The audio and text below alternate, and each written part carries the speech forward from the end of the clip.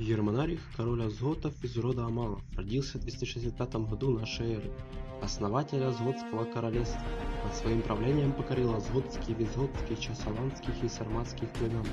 Покоренные Германарихом племена были обложены данью.